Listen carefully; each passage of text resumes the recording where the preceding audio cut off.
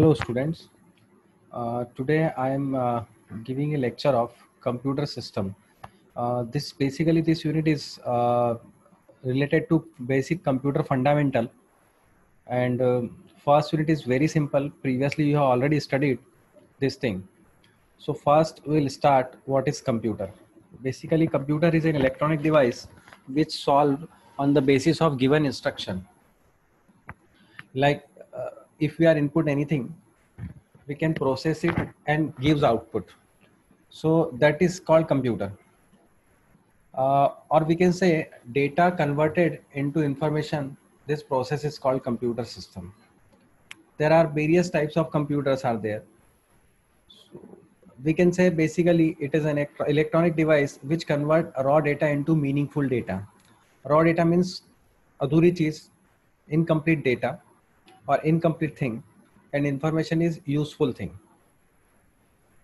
Now uh, how computer works is basically computer was invented in 1884 charles babbage was the father of computer. He invented basic concepts of computer. Now he also given uh, basic things that is also called block diagram of computer or we can say that is also called component of a computer system like in this figure see that is input device primary memory control unit arithmetic logical unit and output device. This overall called cpu central processing unit.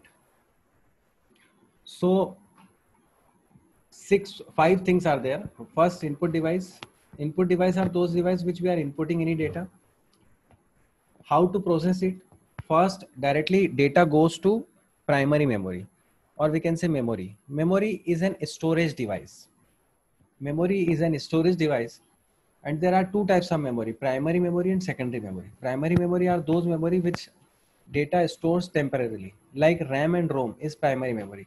Whenever we are entering data, data directly goes to primary memory or we can say RAM, random access memory. The full form of RAM is random access memory. Now it is related to arithmetic and logical unit. That means plus, minus, multiply, divide or comparison. Then it will processes according to that. That means it is related to plus, minus, multiply, divide. It goes to arithmetic unit. And if we are comparing anything, it is called logical unit. Now, what is the work of compute uh, control unit? Control unit, the work of compute control unit is it controls all these things. For example, inputting is input device is properly input is not input is not processing device processing or not. Output uh, output device processing output or not. So this is called uh, overall process of computer. That is also called block diagram of computer or that is also called component of a computer system. These are these all are computer system. And with when we save it data so it goes to primary to secondary memory. Secondary memory are those memory which stores data permanently, like hard disk, floppy disk, pen drive, zip drive, any other memory card, any other device, which is called secondary storage device. now, next thing is central processing unit. This this this is a combination of primary key control unit and arithmetic and logical unit. This is a combination of uh, all these things and that overall thing is called central processing unit. Now what is cpu basically cpu is the main part or main task of computer system. It is also called central processing unit. It is also called brain of the computer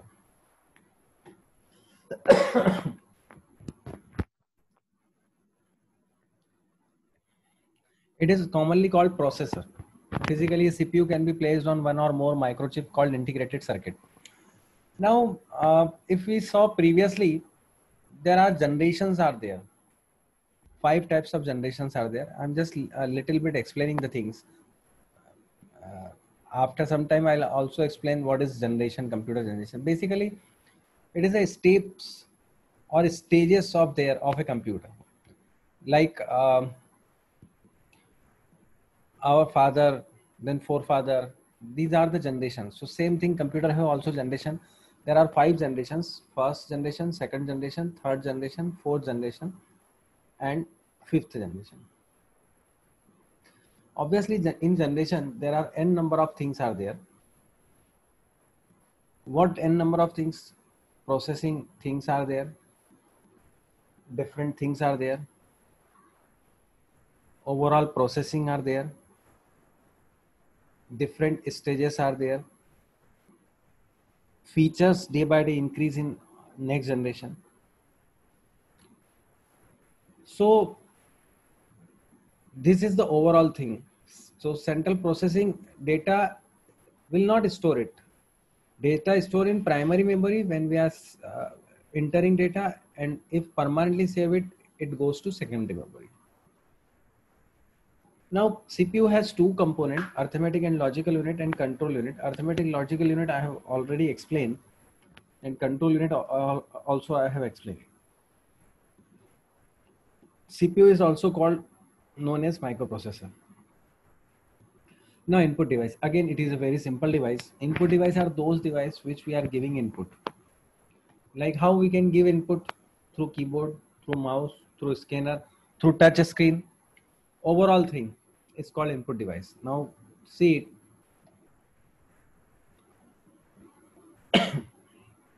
data entered through input device is temporarily stored in the main memory also called RAM. Temporary memory, I have already explained it. For permanent storage, we can directly data goes to secondary memory. Now, these are the input device, keyboard, mouse, scanner, touch screen. And these are the output device. output device are those devices which display your output like see in this figure monitor speaker printer 3d printer one another also device is called that is called uh, we can say plotter. Plotter is also output device. So these are output device. Again um, more output device also discuss it. But these are the very basic devices or output devices which we can normally use it normally some of the devices related to hard copy and some of the devices related to soft copy. Like if you want to see any result in monitor so we can say uh, it is in soft copy. Speaker again it is just listening the thing. Printer show output in hard copy. 3d printer. So these are the output device. Now come to next point, evaluation, evolution of computer. How computer works. I already explained this thing when we are using components of computer. So same thing, this is John von Neumann architecture for computer. Again, it is also called block diagram. So block diagram भी बोला जाता है. Concept वही है input device किससे होगी keyboard mouse से central processing unit से सेंट्रल प्रोसेसिंग यूनिट प्रोसेस करेगी और मेमोरी से डेटा स्टोर करेगा। और इसमें ए का भी पार्ट है अर्थमेटिक एंड लॉजिकल यूनिट और इसके बेसिस पे आपको आउटपुट मिलेगा। इसको बोला जाता है वन न्यूमन आर्किटेक्चर इसको ये भी बोला जाता है again it is also called block diagram of the computer ये block diagram of the computer भी बोला जाता है। अब इसमें ये इलेक्ट्रॉनिक एंड सबसे पहले जो कॉन्सेप्ट आया, वो ई एन आई ए सी का आया। Electronic numerical integrated and computer system first यही कॉन्सेप्ट आया था जिसको बोला कि कैलकुलेटर से ज़्यादा पार्ट सबसे पहले कैलकुलेटर इन्वेंट हुआ था। कैलकुलेटर के बाद ई एन आई सी आया। In the meaning of E N I A C is electronic numerical integrated and computer first binary programmable computer based on von Neumann architecture. Binary means only two number, zero and one. So that is called binary number. So basically there are four types of number system. Number one is binary number system. Binary number system have zero and one.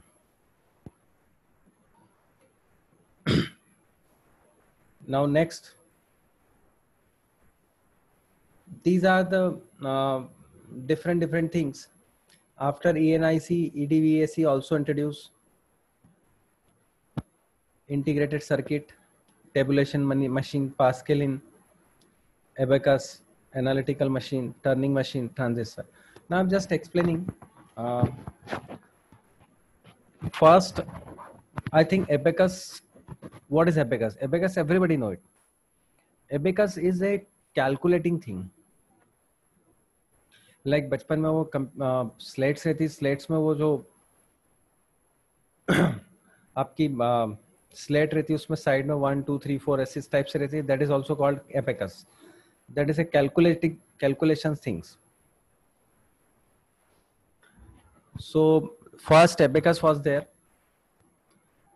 then after that pascaline invented mechanical calculator mechanical calculator means something we can perform multiplication addition then analytical engine charles babbage, gives analytical engine. Charles babbage also called father of the computer. Then tabulating machine. Then enic or edvac john von neumann uh, introduced also enic and edvac then turning machine. Transistor again transistor vacuum tube integrated circuit. These are the devices which computer uses in different generation this is the important thing which you remember it. In very first generation vacuum tubes are used. After second generation transistor is used. Third generation integrated circuit is used. Fourth generation large scale integrated circuit lsi is used. So these are the very basic things which you have to use it. These are very basic fundamental. We just know it. These are the things before uh, we can say computer works. So john von neumann given n number of things. Again uh, this is a theoretical concept. So don't worry about it. In fourth lsi and vsli very large scale integrated. These are the vlsi so these are all our full form are there. Now calculation is there.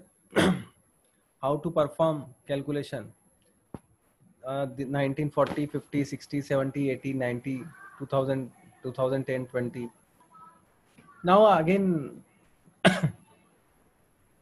if we see mobile there are a number of things in mobile which we can say day by day mobile features are also also increased. Features elaborated calculation elaborated calculation is very fast. So same thing computer have calculations are very fast right now data is stored in terabyte. Now after some time petabyte zettabyte yottabyte is there. And just see it the here 2020 core i7, i7 is used. So remember this thing. Core i7 means this is the processor which you can use very fast calculation. Now next thing further with the introduction of laptop personal computer. So a number of things are there. Again we just see right now a number of gadgets are there such, such as smartwatch. These are the smartwatch lens head headbands headphones. Further smart application are becoming a part of internet of things. Again internet of things is a very latest topic right now. So come to next thing. I think all things previously have clear.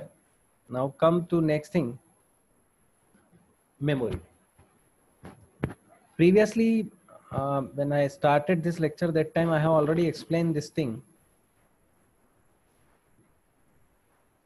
Computer system needs memory to store the data and instruction for processing. Memory is a storage device which stores data temporarily or permanently. Memory data store करती है वो temporary store करती है या permanently store करती है कहीं भी, किसी भी डिवाइस में any device we can use it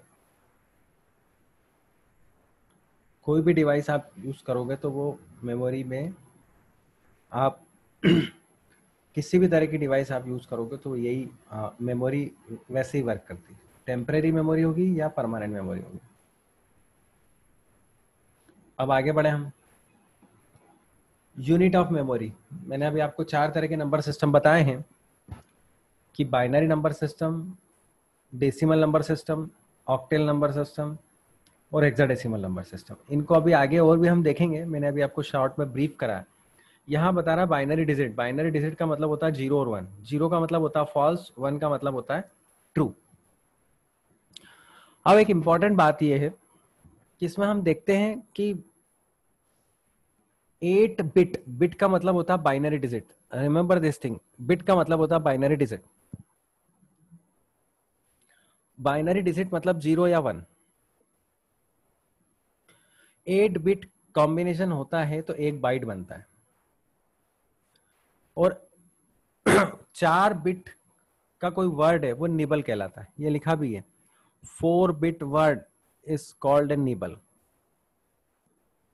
example of nibble are one zero zero one one zero one zero zero one zero मतलब फोर बिट का combination bit means binary digit zero one तो एक जो nibble होता है वो four bit का होता है। Two nibble word it as it is uh, 8 bit word is called a byte. तो वन बाइट में एट बिट होते हैं। Now how to convert zero one zero zero one one zero these are the example these are the example like 0 1 1 1 1 1 0 0 1 0 0 0 0 1 these are all the combination of 8 bit. Now thing is 1 byte equals to 8 bit. एक byte में 8 bit होते हैं now bigger than byte is kilobyte now 1 kilobyte is 1024 byte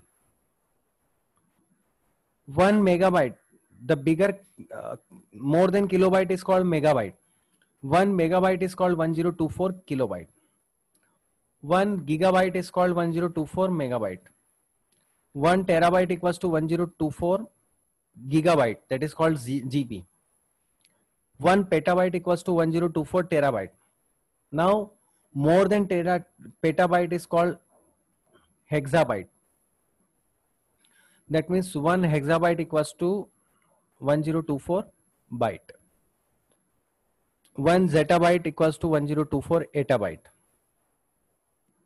hexabyte, exabyte, and one yottabyte equals to 1024 zettabyte. More than petabyte is called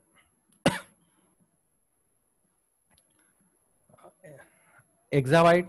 More than one exabyte is called zettabyte, and more than one zettabyte is called yottabyte. So these are the things which you can see it.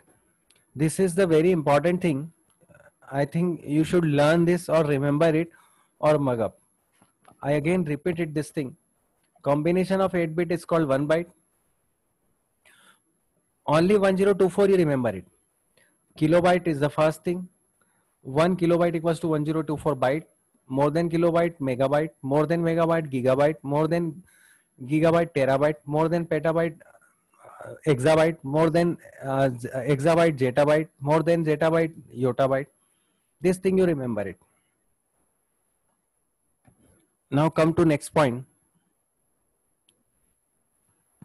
types of memory basically i have already explained two types of memories there primary memory and secondary memory primary memory are those memory which store data temporarily like ram and rom is temporary memory and one more thing that is most important ram is a volatile memory the meaning of volatile is the data will erase when you are not saving the data मैं हिंदी में बता दूं अगर आप कुछ लिखते हैं और आपने सेव नहीं किया और लाइट पावर सप्लाई ऑफ़ हो जाता है या आपका कंप्यूटर सिस्टम अनइंटरप्टेड फेल हो जाता है तो आपके पास कोई ऑप्शन नहीं रहता है और वो डेटा अगर सेव नहीं होता है तो इसका मीनिंग है this memory is called volatile memory तो RAM is a volatile memory लिखा भी है RAM is a volatile as long as the power supplied to the computer It retains the data in it.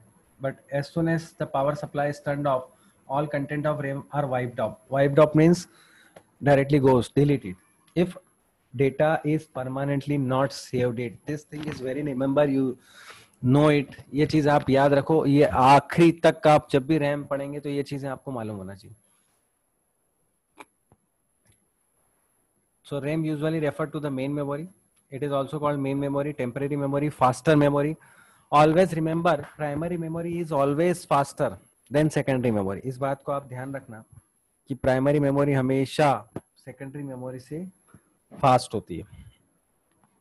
मैं फिर बोल रहा हूँ प्राइमरी मेमोरी होती है RAM and ROM secondary memory होती है hard disk floppy disk magnetic tape pen drive zip drive memory card अब हम प्राइमरी मेमोरी में सेकंड बात करते हैं ROM ROM stand for read only memory that is non volatile memory non what is the meaning of non volatile जो data already store रहता है, वो डेटा जब सिस्टम बुट होता है that is called BIOS basic input output system तो ROM is fixed at the time of manufacturing data कुछ fix रहता है, आप अलग से नहीं the data is already fixed ये लिखा है ना ROM is a non volatile memory it means it contents are not loss when the power is turn off इसके कंटेंट लॉस नहीं होते। क्यों? क्योंकि इसके कंटेंट फिक्स्ड होते हैं। Already fixed at the time of manufacturing इस चीज़ को ध्यान रखें। For the content which are rarely change हम इसको चेंज नहीं कर सकते। फॉर एग्ज़ाम्पल लिखा हुआ भी है। Start a program bootloader that loads the operating system into RAM is stored in a ROM. तो स्टार्टिंग के जो प्रोग्राम है मतलब बेसिक इनपुट आउटपुट सिस्टम तो उसके अकॉर्डिंग वो वर्क करता है। और रोम में जो डेटा स्टोर करता है, वो चेक करता है कि रोम बायस में वो सब चीज़ें अवेलेबल है कि नहीं। So the meaning of ROM is called read only memory and the meaning of RAM is called random access memory I think memory का आपको अच्छे से क्लियर हो गया होगा। We have already explain two three times now, cache memory or cache memory this is the very fastest memory again, this memory is also used in mobile also ram is faster than secondary storage this thing i have already explained but not as fast as computer processor इस बात को भी ध्यान रखें कि processor से fast नहीं हो सकती why because processor is the thing which process continuously So CPU may have to slow down to speed up the operation of the CPU. A very high speed memory is placed between the CPU and primary memory also known as cache. It stores the copies of the data from frequent access memory location अब एक important बात यहाँ ये यह आती है कि इसका कॉन्सेप्ट क्यों आया? When I have explain it computer architecture और कंपोनेंट ऑफ़ ए कंप्यूटर और John von Neumann architecture data directly goes to memory CPU always take data from memory CPU data जो रहता है वो मेमोरी से लेता है। अब वो मेमोरी से लेता है तो उसमें क्या होता है? कि एक बार पहले मेमोरी से लिया तो सीपीयू उस समय आइडल हो जाता है। आइडल मीन्स आलसी that time it will not process it हर बार अगर वो लेने जाएगा तो प्रॉब्लम क्रिएट होगी। तो उन्होंने क्या करा कि कैश मेमोरी का कंसेप्ट निकाला कि प्राइमरी मेमोरी से लेने की बजाय आप कैशे मेमोरी प्राइमरी मेमोरी से डेटा कैशे मेमोरी में जाएगा और कैशे से आपका सीपीयू में जाएगा। तो उससे क्या होगा? सीपीयू का जो आइडल टाइम है वो रिड्यूस हो जाएगा। And CPU will process it वो सीपीयू उस चीज़ को प्रोसेस करेगा। तो इससे एडवांटेज ये होगा कि सीपीयू का आइडल टाइम रिड्यूस हो जाएगा। आइडल टाइम का मीनिंग ये है कि वो आपको जो प्रोसेसिंग है वो कंटिन्यूस उसकी होती रहेगी। इसीलिए कैशे मेमोरी का कंसेप्ट आया। यहाँ लिखा भी है, reducing the average time required to access data from primary memory when the cpu needs to access memory it first examine the cache in case the requirement is met. It is read from the cache otherwise, the primary memory accept. तो कुल मिला के ये कि अगर data पहले क्या होगा? पहले प्राइमरी मेमोरी में जाएगा, उस समय आइडल रहेगा। उसके बाद जब कैशे में आएगा तो हर बार कैशे से सीपीयू में जाएगा। फिर कैशे मेमोरी खाली होगी तो वापस कैशे सेकंड दूसरा डेटा प्राइमरी मेमोरी से लेगी। इस तरह की चीज़ें एक्सेस होती है। इससे एडवांटेज ये होता है कि आपकी जो डेटा की प्रोसेसिंग है दैट इज़ अ फास्ट अब आगे हम बढ़े तो बात करते हैं हम सेकेंडरी स्टोरेज डिवाइस की।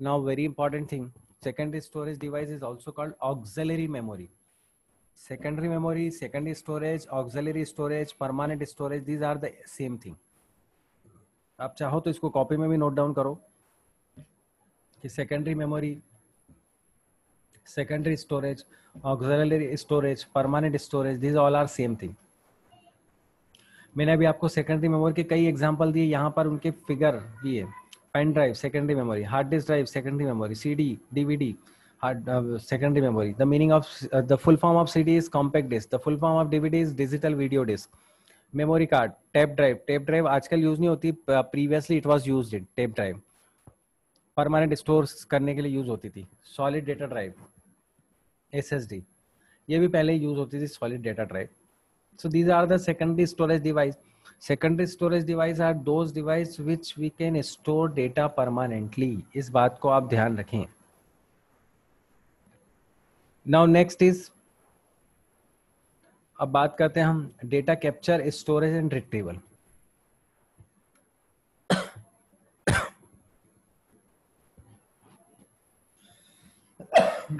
अब डेटा कैप्चरिंग और स्टोरेज का मीनिंग ये है it involves the process it involves the processing of gathering data from different sources in digital capture means पकड़ना उसको processing of gathering data from different sources in digital form different sources मतलब अलग अलग sources से जैसे keyboard barcode reader ये यहाँ पे ये दिया हुआ है दिस थिंग ये जो बार कोड रीडर है, मेरे ख्याल से सभी, आप सभी को मालूम होगा this bar code reader is use in normally in mall तो डेटा कैप्चर करने का तरीका भी है। It is also called scanner it also scan bar code इस बात को ध्यान रखेगी ये बार कोड में। रीड करता और डिस्प्ले करता डेटा वहाँ पे सॉफ्ट कॉपी में। तो that is called data capturing using barcode second आती है बात डेटा स्टोरेज की. Data store means we can store the data अब जो डेटा आपने कैप्चर करा, उसको आपको स्टोर भी करना होगा. Whatever data we are capturing again it is store it it is a process of storing the capture data from processing later now it is the data is being produced at very high rate therefore data storage has become a challenging task However, the decrease in most common of digital storage device has helped in simplifying this task. So there are numerous digital storage device available in the market अब storage में मतलब वही जो आपकी secondary memory होती है उसी में डेटा स्टोर होता है अब फिगर 1.7 जो इन्होंने बताया कि वही जो हमने सेकेंडरी स्टोरेज डिवाइस का बात करी थी ये यही वाली hard disk memory card tape drive, solid state, ये सब चीज़ें यहाँ मेंशन है। तो डेटा स्टोरेज मतलब सेकेंडरी स्टोरेज डेटा में डेटा स्टोर करना। थर्ड बात आती है data retrieval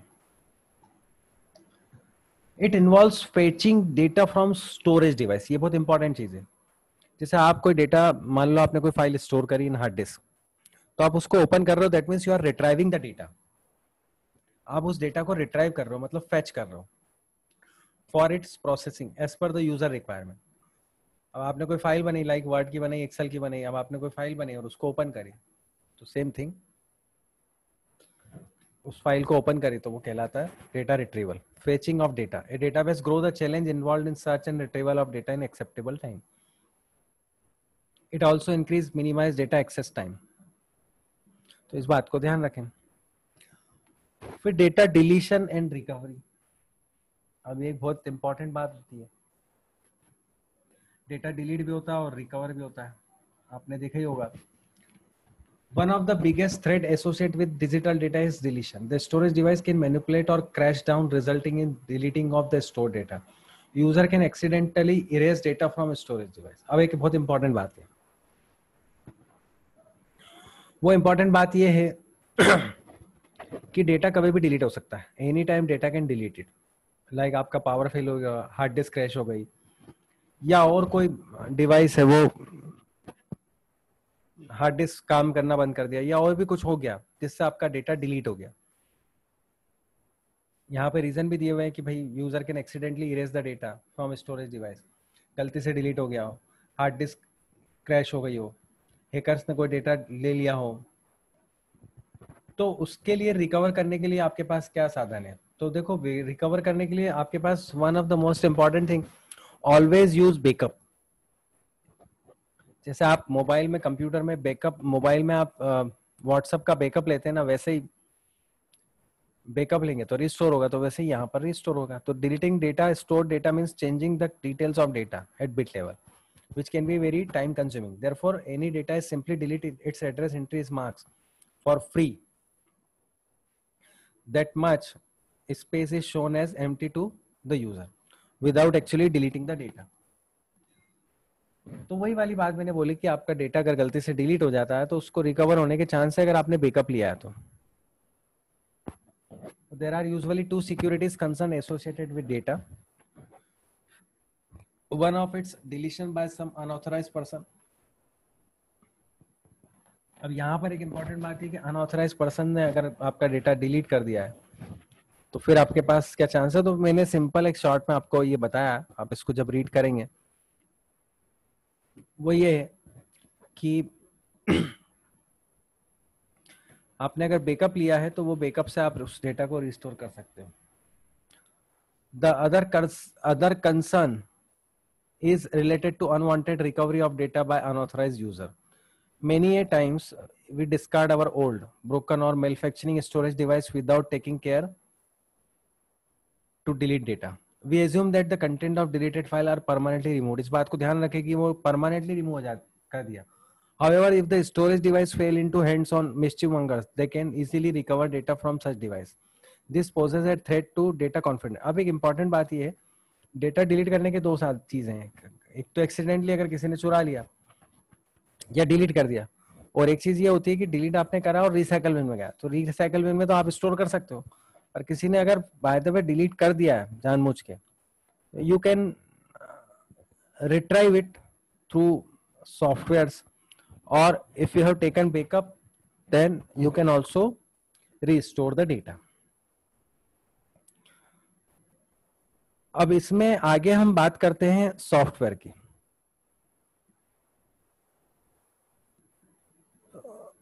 पहले मैं आपको हार्डवेयर बताऊँगा। हार्डवेयर ये लिखा है यहाँ पे hardware refers to the physical component of a computer system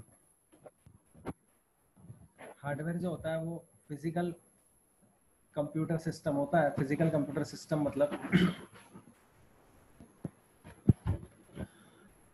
physically जितनी डिवाइसेस है वो कहलाती है हार्डवेयर जैसे for example keyboard mouse monitor this are the physical component hard disk ये लिखा भी है ROM keyboard printer monitor CPU on the other hand software so that is called hardware hardware आप देखते भी कई जगह हम बोलते हैं हार्डवेयर की शॉप पे जाओ तो फिजिकली जितने भी कंपोनेंट है लाइक नट है स्क्रू है they are called hardware now in case of computer terminology hardware is a physical component of a computer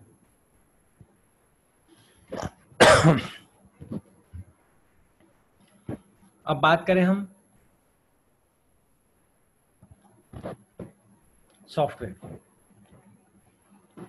software basically अगर हम सॉफ्टवेयर की डेफिनेशन दें तो software is a group of program and program is a set of instruction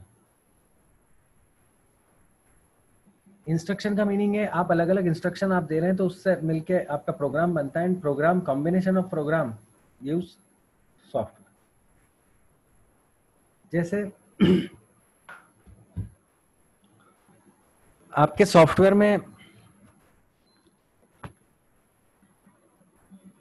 दो तरह की चीज़ें होती है। मतलब we can say software is a group of program and program is a set of instruction for example हम इसको example के थ्रू लें। हम सम दो नंबर के सम का प्रोग्राम बनाना चाहते हैं। We are creating sum of two number program so we are giving instruction हम इंस्ट्रक्शन को दे रहे हैं। क्या? Take two number process it assign into sum and print the sum ये इंस्ट्रक्शन हमने दे दिया ये मिला program yes it is a single program एक और हमने प्रोग्राम बनाया one more program we have created it वो क्या? Subtraction of two number. Again, same, second program we have created. Third, multiply of two number. ये भी हमने program बनाया।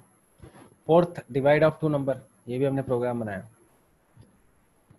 तो ये चारों प्रोग्राम हम बनाएँगे तो मर्ज कर लेंगे।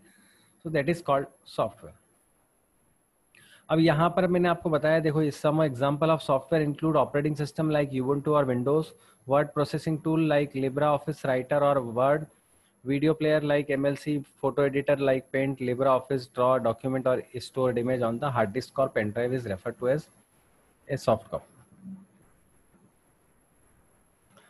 basically अगर हम सॉफ्टवेयर की बात करें तो there are two types of software number one is system software and number two is application software. यहाँ पे लिखा हुआ भी नीड ऑफ़ सॉफ्टवेयर की सॉफ्टवेयर की देखो without software computer can not start it and without software mobile can also not start it मैं समय मोबाइल का एग्ज़ाम्पल देता हूँ। बेसिकली अगर आपको समझाने का तरीका बोलूँ तो हम ये कह सकते हैं कि very first thing when computer start it और mobile start it first of all system software load its all files इस बात को ध्यान रखना आप। सबसे पहले कंप्यूटर में सिस्टम सॉफ्टवेयर इंस्टॉल होता है, उसमें सारी फाइलें लोड होती है। वो सिस्टम सॉफ्टवेयर के एग्ज़ाम्पल है ऑपरेटिंग सिस्टम और ऑपरेटिंग सिस्टम का